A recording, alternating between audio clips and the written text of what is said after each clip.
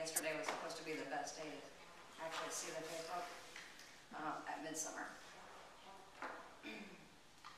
But really, anytime. And this yard is pretty charged. Uh, We've a lot of, a lot of rituals in it.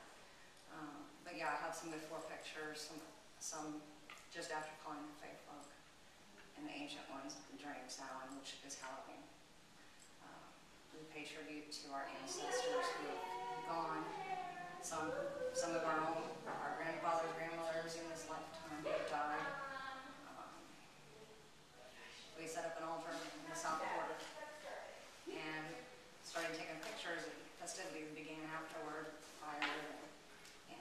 and just having a good time. And a lot, there's a lot of orbs in these pictures and as I cleanse the circle when it was over with. Um, they started disappearing, so you can see those later if you'd like. I have them up here on the computer. Um,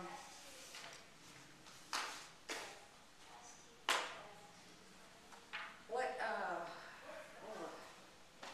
where are you all at on with fairy magic? Does anyone practice it?